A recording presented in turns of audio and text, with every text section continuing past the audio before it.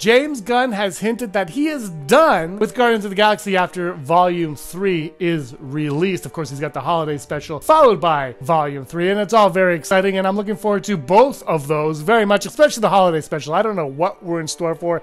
He has promised some uh, introductions to some awesome MCU characters. And of course, in Volumes of the Galaxy 3, he has some really cool cameos, wonderful cameos for the OG Guardians fans, whether that that's OG comic book Guardians fans, which I don't know, all seven of you maybe, or for the OG fans of Guardians of the Galaxy Volume 1. We're gonna have to wait and see. But earlier this weekend, James Gunn tweeted out with the Ravagers on the set of Guardians of the Galaxy Volume 2, and he showed some pictures right here. You can see those of him with the Ravagers on the set. And then a fan decided to ask James Gunn, any chance we see them again at Disney Plus show even? And James Gunn says, you never no, and when you say you never know, that means one of two things. Either you really never know, or something is potentially in the works. So, could something be in the works with Disney and Marvel on Disney Plus for the Ravagers, or maybe something else? I would say a Ravagers Disney Plus show makes a lot of sense. Marvel has no shame in doing this. The Agatha show is coming. An Agatha show is on its way. I am Groot is coming. Milk it while you can. People love it. I mean, so far they're they're hitting on all cylinders. Moon Knight was their biggest show. So people are interested, they are intrigued, and they are willing to watch your show. So it looks like he's hinting at something over here. What what it is, we're not sure. I would suspect a Disney Plus show about the Ravagers would be announced at some point between the holiday special and Guardians of the Galaxy Volume 3. But we're gonna have to wait and find out. What do you guys think? Would you like to see a Ravagers show